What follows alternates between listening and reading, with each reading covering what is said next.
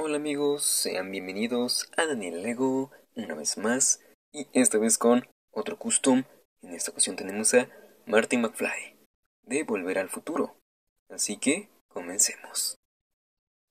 Y bueno, pues este custom está basado en cómo lo vemos en la segunda película. Creo que se mira bastante bien, comenzando con el cabello que lo conseguimos de la minifigura del Han Solo. El rostro es de la minifigura de Spider-Man. Hablamos de la versión de la serie de bolsitas de Marvel Studios. Este torso no recuerdo muy bien dónde lo conseguí, creo que es de algún set de Spider-Man, pero ya estarán viendo una imagen y unos pantalones totalmente azul oscuro y este sombrero que lo conseguimos del Spider-Man Noir. Creo que se mira bastante bien, creo que sí se parece mucho como lo vemos pues en esa película donde tiene que pues pasarse desapercibido y se pone como esa eh, ropa que no llame la atención.